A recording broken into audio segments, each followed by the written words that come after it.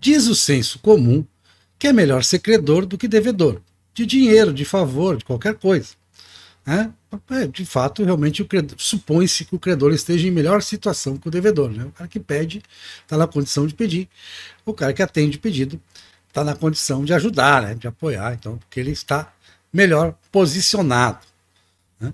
Agora, o senso comum não leva em consideração de que devedores não gostam de credores e de que credores têm certo carinho pelos devedores. Né?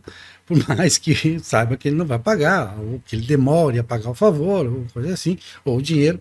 É, por exemplo, aquela história do você empresta dinheiro, você sabe que vai perder o amigo. Não é porque você vai se afastar dele, é porque o devedor vai se afastar da incômoda da presença sua.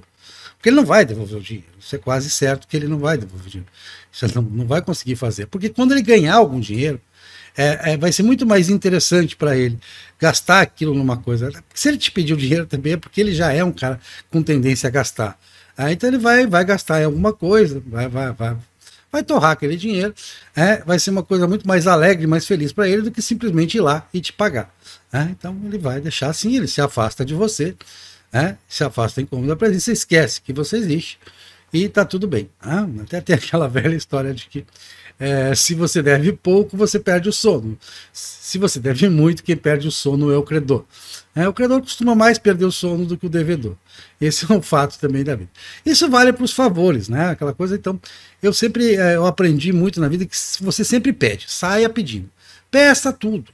Né? Seja um cara que pede você não está fazendo mal para a pessoa, né? Você pede, ó, faz um favor para mim, intercede junto a seu amigo, consiga essa coisa para mim e tal, né? É, quanto mais você pede, melhor. E você diz obrigado. De onde vem a palavra obrigado? Ah, obrigado é estou obrigado a retribuir. Obrigado. Sempre diga obrigado. Né? Lembre-se de dizer obrigado. E diga um obrigado efusivo. Né? Eu lembro que uma vez eu fui pedir um favor a alguém e disse assim: Não, eu tenho para te pedir um favor, mas é um favor pequeno. Aí a pessoa me interrompeu e disse: Nunca diga isso se você quiser que eu te, te faça o favor. Diga que o favor é grande, que é difícil. Considere que vai ser muito difícil para mim fazer esse favor a você. É, porque aí eu me sinto melhor. Eu me sinto um credor mais, né, mais substancial. Então, é, na filosofia aplicada para a vida, sempre há devedores e credores. Né? Dificilmente há um equilíbrio completo. Esse equilíbrio está sempre. A gente, nós estamos em busca de equilíbrio nas relações com as outras pessoas. Mas essas relações, elas são, em geral, assimétricas. Elas são mais comumente assimétricas, porque é muito difícil a simetria. Então, é, vá lá, pede, sempre peça. É a história do vendedor, né? O bom vendedor é aquele que, que tem cara de pau, como dizem, né? Senão vai lá e pede. Não custa pedir, custa, olhe, tem essa força aqui, me ajude, estou precisando e tal, né? Poxa, só você pode me salvar. É aquela história. Eu não, não tenha medo disso, não tenha vergonha, é porque a vida é assim mesmo. E você pode ter, jeito, ter certeza que o sujeito vai gostar de vocês. Inclusive, sabendo disso, sabendo que o criador tem certo carinho, você pede, ele faz o favor, você vai lá e pede outro favor, não tem problema nenhum. Né? Pediu um, pediu dois, pediu três. Daqui a pouco aquilo já está no, né, no natural. E ele, e o credor sempre gostando, pô, esse cara sempre, sempre me pede as coisas, ele é meio, né, ele é meio folgado, tal. Às vezes eu até evito, mas é, não deixa de ter um certo carinho do credor para com o devedor.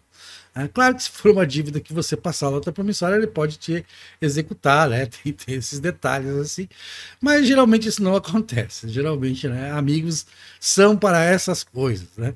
São para a gente pedir favor a eles, né? E eles nos fazerem favores.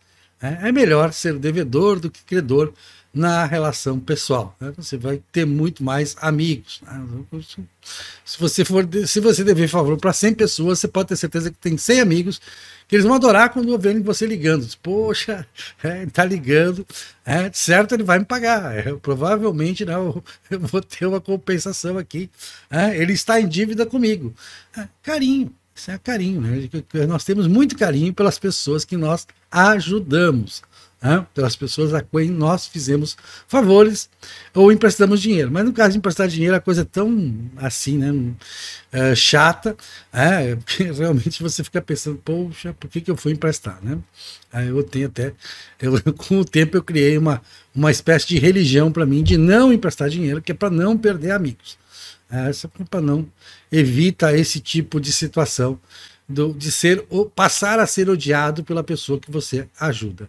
Isso acontece muito. Daí a ingratidão. Né? né? Então, peça sempre que você vai ter o carinho do seu credor. É, nem que seja assim o um carinho na forma de xingamento. Ele vai ser, de novo, meu filho. Você sempre me pedindo favor. É, mas você pede, pois é, né? Que situação, né? Veja como estou. É isso aí. Então, beleza. É, entre devedores e credores, prefira ser o devedor.